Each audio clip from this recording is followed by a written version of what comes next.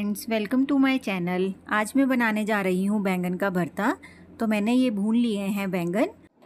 भूनने के बाद मैंने बैंगन को पानी में डिप कर दिया है।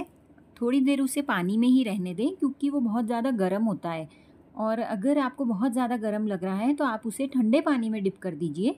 क्योंकि आजकल गर्मी है तो आप एक दो बार पानी उसका चेंज कर लें तो बेटर है, क्योंकि पानी बहुत ज़्यादा गर्म होगा तो आपके हाथ भी जलेंगे।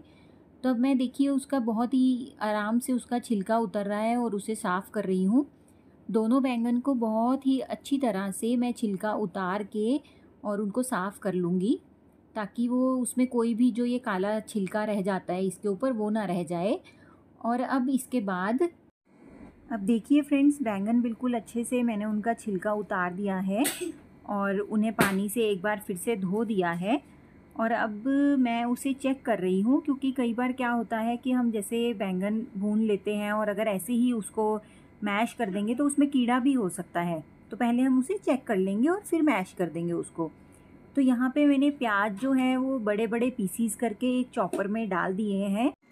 चॉपर में काफ़ी सारे प्याज भी एकदम से ही हम इजीली चॉप कर सकते हैं। जैसे भरता वगैरह बनाना हो या भिंडी बनानी हो, उसमें हमें प्याज थोड़े ज़्यादा लगते हैं। तो मैंने इसमें मोटे मोटे प्याज काट के डाल दिए थे। ये देखिए कितना एक मिनट में ही जो प्याज हैं बिल्कुल छोटे छोटे पीसीज में कन्वर्ट हो गए हैं। अभी मैं आपको देखिए ये खोल के दिखाती हूँ इसमें से। ये देखिए, ये मैंने अपना चॉपर का ढक्कन खोल के दिखाया है आपको। देखिए इसमें कितने अच्छे से प्याज कट चुके हैं। यहाँ पे मैंने अपनी कढ़ाई रख दी है और उसमें तेल गरम होने के लिए डाल दिया है। मैं सरसों का तेल यूज़ कर रही हूँ तो वो जब तक अच्छे से गर्म ना हो जाए, उसमें प्लीज़ कोई भी मसाला ऐड ना करिए। अब मैंने यहाँ पे डाल दिया है थोड़ा सा जीरा थोड़ी सी हींग और अभी जो मैंने प्याज चॉप किए थे, वो सभी मैं इसमें डाल रही हूँ। इसमें प्याज और टमाटर और ग्रीन चिली जो है, उसका मसाला जितना आप ज़्यादा बनाएँगे, वो टेस्टी लगता है भरते में, क्योंकि इन्हीं पे ही डिपेंड करता है पूरा आपके भरते का फ्लेवर ये देखिए मैंने प्याज जो है अब अच्छे से ब्राउन करके, उसके बाद मैं इसमें टमाटर ऐड कर दूँगी। मैंने चार टमाटर यूज़ किया हैं और चार पाँच ही मैंने प्याज ले लिए थे। अब मेरे देखिए टमा, जो प्याज हैं वो अच्छे से गोल्डन ब्राउन हो चुके हैं। टमाटर मैंने काट लिए हैं और उसमें दो तीन हरी मिर्चें भी काट दी हैं। उन्हें चॉप करके मैंने इसके अंदर डाल दिया है। और अब ये मेरा मसाला जो है ये रेडी हो जाएगा। और मैं इसमें अपने जो अब ड्राई मसाले होते हैं, वो सब भी ऐड करूँगी।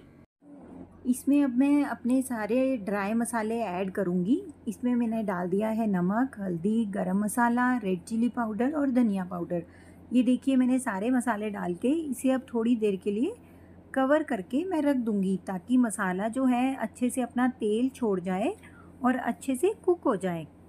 तो अभी मैं दो मिनट के वेट करने के बाद आपको दिखाती हूँ। ये देखिए। मसाले का जो ऑयल है वो अब ऊपर आ चुका है। इससे हमें ये पता लगता है कि हमारा मसाला जो है वो रेडी हो चुका है। अब मैं इसे जो टमाटर है वो अच्छे से कड़छी से ही थोड़ा सा मैश कर दूँगी। और इसमें फाइनली अपने जो भुने हुए बैंगन जो हमने मैश किए थे, उन्हें भी ऐड कर दूँगी इसमें। और इसे अच्छे से मिक्स कर दूँगी।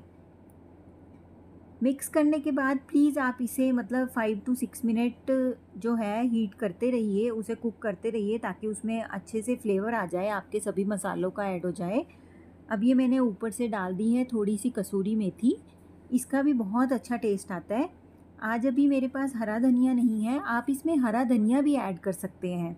तो आप मुझे बताइए कि आपको मेरी रेसिपी कैसी लगी? Thank you